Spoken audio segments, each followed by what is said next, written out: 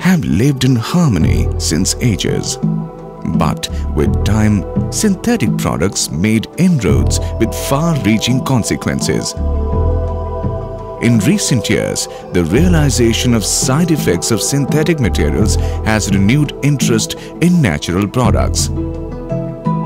Being a treasure house of biodiversity, agriculture continues to be the mainstay of Indian economy.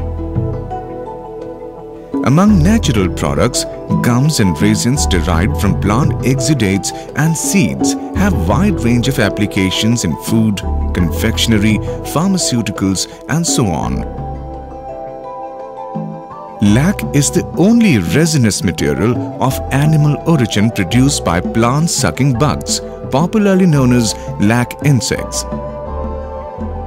India maintains global leadership in the production of guar gum, karaya gum and lac. The R&D requirement of natural gums and resins is addressed by the Indian Institute of Natural Resins and Gums or IINRG located at Ranchi. It is the fourth oldest institute of the Indian Council of Agricultural Research, the apex organization for agricultural research in the country.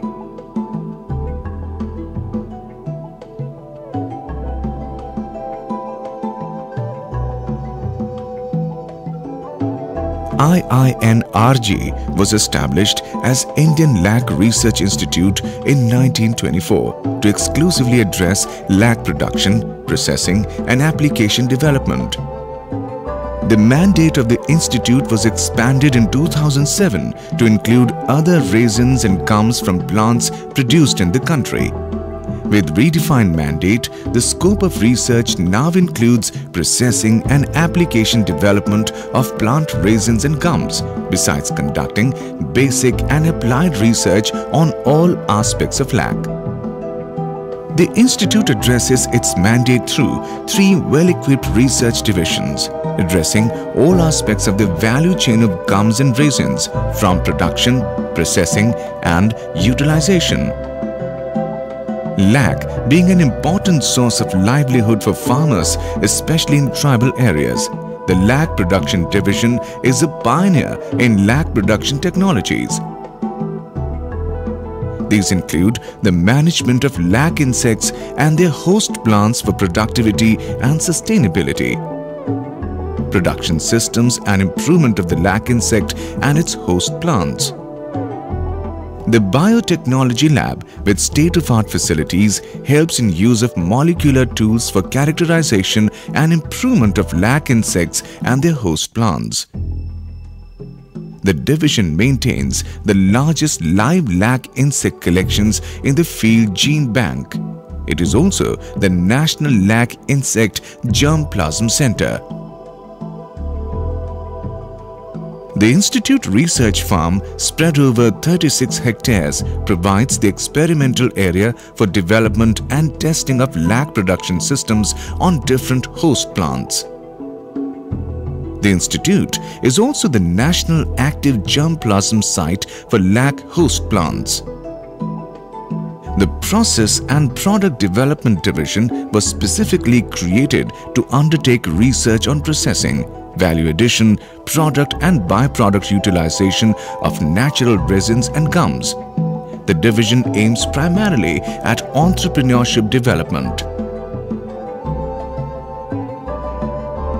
Over the years, this division has given many technologies to the industry. These technologies include lac-based surface coating compositions, adhesives, sealants and fine chemicals as well as machineries for processing of lac. The Quality Evaluation Laboratory equipped with the modern sophisticated instrumentation offers services to processing industries for quality evaluation of lac, resins, gums and lac-based products for domestic and overseas markets. The pilot plants of the division showcase the technical feasibility of select institute technologies for commercial adoption. a network project at IINRG with six centers located at resin and gum producing and processing areas across the country is a concerted research effort on harvesting, processing and value addition of natural resins and gums. For technologies to be relevant, they should reach the end users. The Transfer of Technology Division of the Institute is engaged in this very activity of assessment, refinement and dissemination of Institute technologies. The division carries out market research and collection of production statistics. It studies production economics and impact assessment of lac and allied resins and gums. The division also conducts structured and customized training programs for farmers, unemployed youth and officials from government and non-government organizations, which has contributed significantly to human resource development in the sector. The division also provides information, advisory and consultancy services to stakeholders of the enterprise. The LAC Museum is a unique window showcasing the versatility of the product to raise general awareness of this economically important and versatile product. Samples of lac collected from all over the world are a special point of attraction of the museum. With technological interventions and extension support provided by the Institute, the farmers are able to achieve higher productivity and enhance sustainability in lac production on all major lac host trees. The Institute has been playing a proactive role in promoting Kusmi lac production on Ber during winter season. This has led to substantial growth in the share of superior quality Kusmi lac to the country's overall lac production scenario in recent years. Flamingia semialata, a quick-growing bushy host plant developed by the Institute is gaining popularity for Kusmi lac production on plantation scale. The Institute is now assigning priority for judicial management of natural resources and development of integrated farming system models. Moisture conservation through mulching was found very effective in early establishment of Ber and enhanced winter lac production under rain-fed condition. The Institute has identified biopesticides and environmentally safer newer pesticides for lac pest management. The Institute conducts regular interactions with farmers at field level for technological empowerment. Several extension and training programs are conducted in collaboration with the state government. লাহিতে মানে কোটে কুটির ফায়দা হয়েছিল মানে অনেক ফায়দা হয়েছিল তার মানে অনেক কিছু চাষ করি ওইটাতে ফায়দা নাই এইটাতে লহিতে মানে আরও লাগাইতে পারব ওতে বেশি টাকা পয়সা হয় আরও যে মানে করব এটাতে মানে অনেক কিছু আলু লাগাইতে ওটা লাভ হচ্ছে না ধানেরও তো লাভ হচ্ছে না এটা তো জল দিতে এটা তো জল দিতে হচ্ছে না Scientists, entrepreneurs interfaces are a regular feature at the Institute to promote entrepreneurship in the area of lac products and byproducts with a multidisciplinary approach and a diversified mandate, IINRG is fast emerging as leader in the field of natural resins and gums. India's global leadership in production, processing and export of lac is due to several technological interventions from this institute. With highly skilled manpower and state-of-art facilities, the Institute is poised for a leap in the future, working for growers and the industry alike. The Institute is striving for sustained physical, economic and environmental security of people engaged in production and processing of natural resins and gums with impact of climate change gripping the nation's agricultural production and sustainability, new challenges have emerged for sustained production and utilization of this bounty of nature. IINRG is alive to the changed needs of the country and is marching ahead with commitment and dedication. Prosperity has silently crept in but there's no room for complacency. many more milestones are yet to be achieved.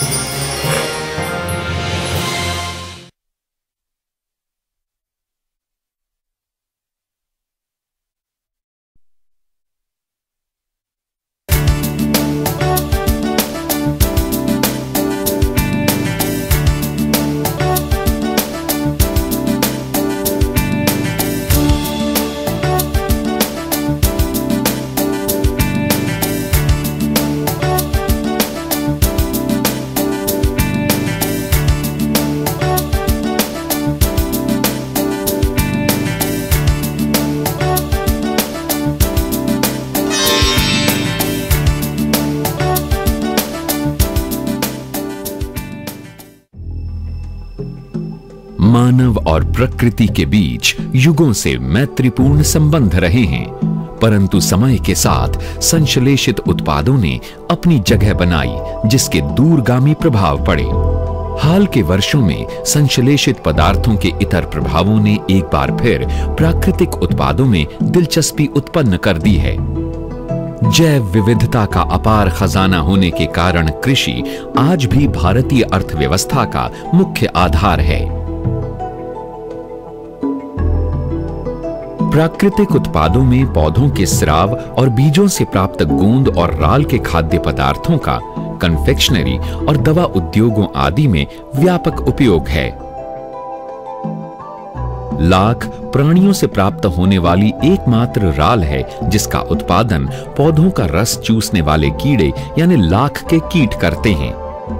अंतर्राष्ट्रीय स्तर पर भारत ग्वार की गोंद, कराया की गोंद और लाख का उत्पादन करने में अग्रणी है। प्राकृतिक गोंद और राल की अनुसंधान एवं विकास आवश्यकताओं को संपन्न करता है रांची स्थित भारतीय प्राकृतिक राल एवं गोंद संस्थान, यानी आईआईएनआरजी ये देश की सर्वोच्च कृषि अनुसंधान संस्था, भारतीय कृषि अनुसंधान परिषद का चौथा सबसे पुराना संस्थान है।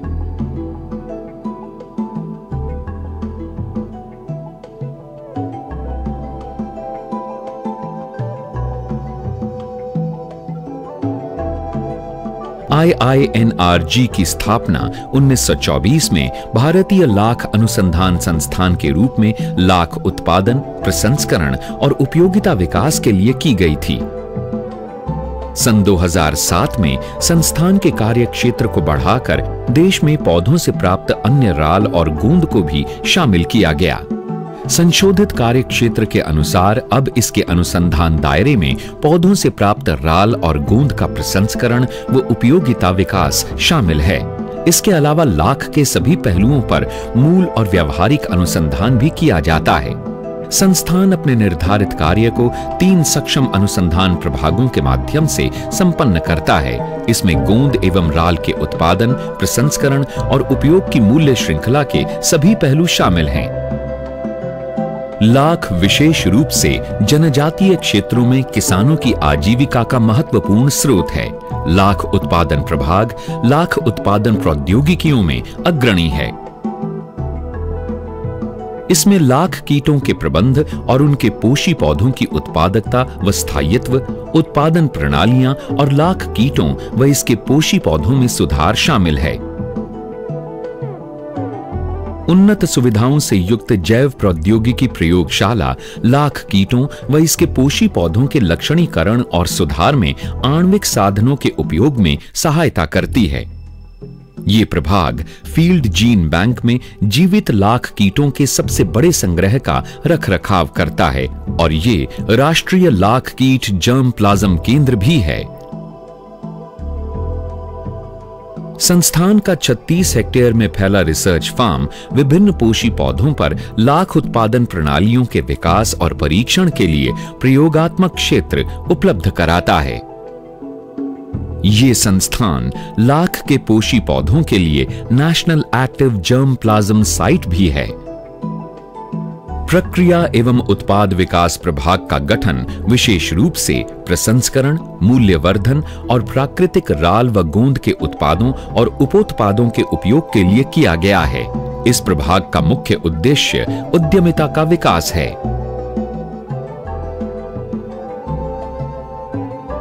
अनेक वर्षों में इस प्रभाग ने उद्योगों को कई प्रौद्योगिकियाँ प्रदान की हैं। इनमें लाख आधारित servicing coating compositions assertive sealing और शुद्ध रसायन के साथ लाख प्रसंस्करण के लिए मशीनरी भी शामिल है।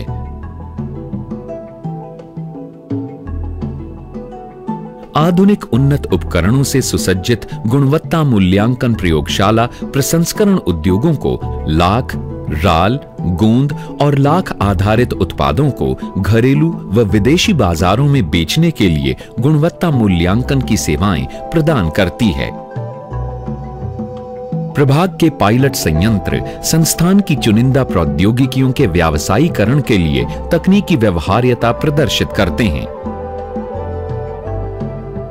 संस्थान की एक नेटवर्क परियोजना के तहत देश के राल एवं गोंद उत्पादन व प्रसंस्करण क्षेत्रों में छह केंद्र स्थापित किए गए हैं, जो प्राकृतिक राल एवं गोंद के उत्पादन, प्रसंस्करण और मूल्यवर्धन के लिए समेकित अनुसंधान प्रयास करते हैं।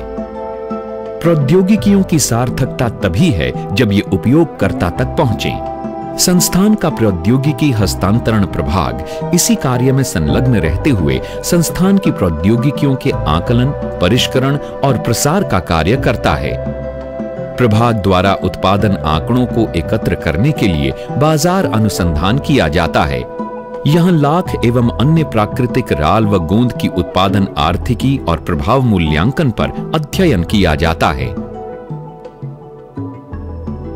प्रभाग द्वारा आवश्यकता के अनुरूप गठित प्रशिक्षण कार्यक्रमों के द्वारा किसानों, बेरोजगार युवाओं और सरकारी व गैर सरकारी संगठनों के अधिकारियों को प्रशिक्षित किया जाता है, जिससे इस क्षेत्र में मानव संसाधन विकास सशक्त हुआ है। साथ ही ये प्रभाग इस उद्यम के संबंधितों को सूचना, सलाह एवं परामर्श सेवाएँ भी प्रदान करता है।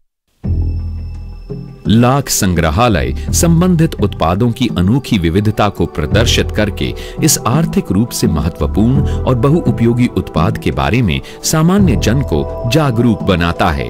दुनिया भर से एकत्रित लाख के नमूने संग्रहालय का मुख्य आकर्षण केंद्र हैं। संस्थान द्वारा विकसित तकनीकों और प्रसार सहायता के कारण किसान लाख के प्रमुख पोषी वृक्षों से लाख की अधिक और सतत उत्पादकता प्राप्त करने में सफल हुए हैं।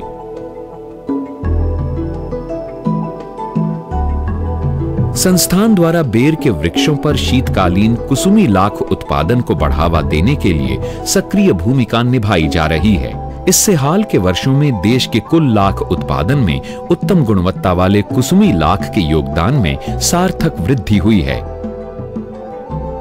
संस्थान द्वारा विकसित फ्लेमिंजिया सिमियालिटा नामक तेज बढ़वार करने वाला झाड़ीदार पोषी पौधा बागानी स्तर पर कुसुमी लाख उत्पादन के लिए लोकप्रिय हो गया है।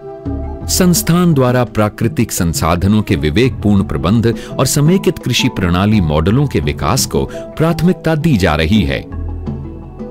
पलवार लगाकर नमी संरक्षण करना बेर के अगेती जमाव में प्रभावकारी रहा और इससे बारानी दशा में शीतकालीन लाख उत्पादन में वृद्धि हुई।